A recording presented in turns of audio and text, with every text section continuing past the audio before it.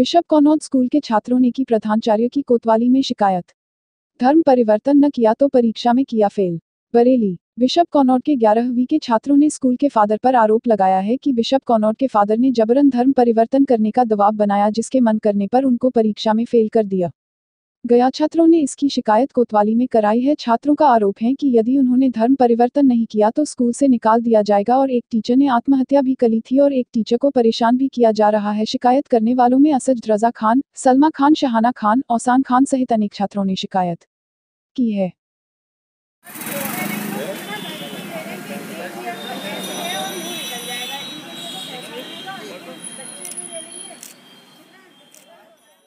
क्या नाम है आपका? मेरा नाम आराम खान है मैं इलेवन सी में हूँ हमें भी फेल करा गया है इसलिए बदतमीजी बदतमीजी आप खुद बताइए अगर आपके बच्चे होंगे बेटी होंगे ऐसी बदतमीजी करी जाएगी हमें पास चाहिए और हमें पास करें और जो हमारे क्लास टीचर थे उन्होंने तो हमें हमारी नोटबुक चेक नहीं करी और इवन उन्होंने करी जिनको चेक करनी नहीं चाहिए जो इकोनॉमिक्स के सर थे सिक्सटी के जो जिनकी ओवर एज थी जो रिटायर होने वाले हैं। स्कूल क्या नाम है? Bishop Convent Senior Secondary School क्या नाम है आपका?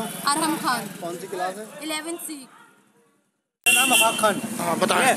हम सबको हम सबको हाँ बोलो। जानबूझ के फेल करा गया है। क्यों? और हमसे बदतमीजी एक एक करके एक एक करके। हमसे बदतमीजी करके बात करी है हमें जानबूझ के फेल करा गया है।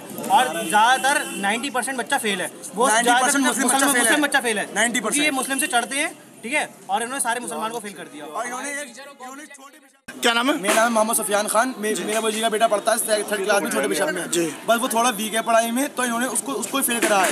करीब छोटे बिशप में नाइन्टी परसेंट मुस्लिम बच्चा फेल करा गया जान पूछ के बच्चा फेल गया साफ़ बदतमीजी हो रही है तुम रिपीट करोगे वरना टीसी ले लो। साफ़ ये कहा गया है सब धमकी दी जा रही है स्कूल में फेल करने की।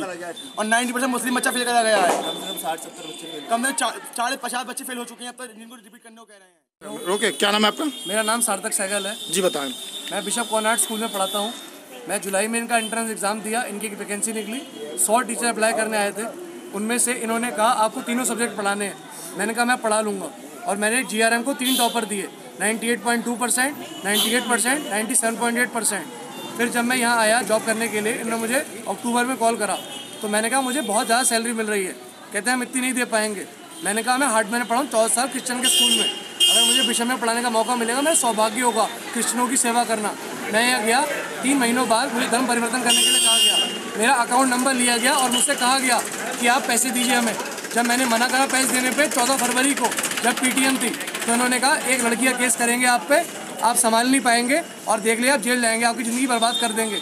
फादर मुझे धमकियाँ देते हैं, बिशप के टीचर मुझसे कहते हैं, हम एक पिकनिक पे गए थे तो मेरी तबीयत ख़राब हो गई। तो मुझसे कहते हैं, आप बड़े शौकीन लोग हैं बलकर कमेंट्स पास करें। मैं इनके फादर बिशप सब पे जा चुका हूँ, कोई सुनवाई नहीं कर रही। टीचर वहाँ, लड़कियाँ, लेडी टीचर, बच्चों से दारू मांगती हैं। एक बच्चे को इनमें से एक खड़ा है, माँ बहन की गाली बगी कैमरा के सामने। और उसके बाद लड़कियों से बर्ताव बर्ताव करा गया।